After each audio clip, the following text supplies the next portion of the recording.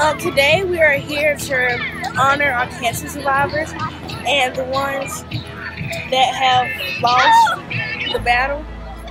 And we are here to show respect to them and show that we care. They're not the only ones out in this world that have have the battle.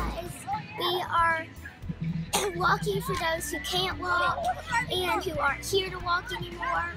And we're just supporting and fighting against cancer.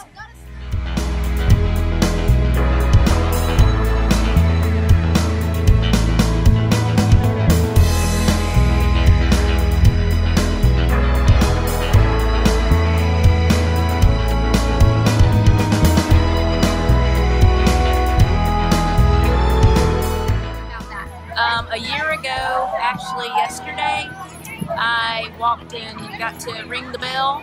Uh, got fin- finished with my radiation treatment. I had breast cancer. Um, luckily, they caught it early. You can't even put it into words. It gives you cold chills to kn- know that a fourth grader, all the way up to, to 11, 12 year olds, know how deep and meaningful this is and that they do make a difference, even